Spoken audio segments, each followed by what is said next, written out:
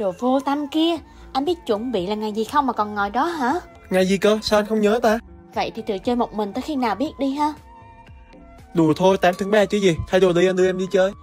Vậy còn tạm được. Thế là hôm nay tôi đưa cô người yêu đi mua quà luôn nè. Nhưng mà địa điểm mua quà này thì siêu độc luôn. Và chắc là mọi người cũng đã biết cửa hàng này rồi. Thiên Mộc Hương, thương hiệu trầm hương Việt Nam duy nhất dành tặng cho nguyên thủ quốc tế. Nghe bèo là có tặng hơn 42 năm kinh nghiệm luôn đó cả nhà. Vừa mới vào là đã có thể cảm nhận được luôn cái mùi hương trầm dịu nhẹ lan tỏa hết cái không khí nè. Nhẹ nhàng dễ chịu thật sự. Và theo anh thấy thì có rất là nhiều mẫu sản phẩm độc đáo được làm từ trầm hương cho chúng ta có thể lựa chọn luôn. Nghe bèo trầm hương có tác dụng giúp dễ ngủ, thư giãn, đem lại may mắn và rất là phù hợp với công việc của hai đứa mình. Vừa mới đi một tí mà may mắn đã tới rồi nè. Đợt 5 tháng 3 này thì cửa hàng đang có chương trình món quà tinh ý trao người chân quý rất là nhiều khuyến mại và ưu đãi cho mọi người luôn. Khi đến trực tiếp cửa hàng mua sẽ được tặng một hộp hoa đặc biệt nhân ngày 8 tháng 3 Vừa có quà, vừa có hoa, vừa có cả voi chờ. Thế này thì làm sao mà bị gọi là vô tâm được chứ?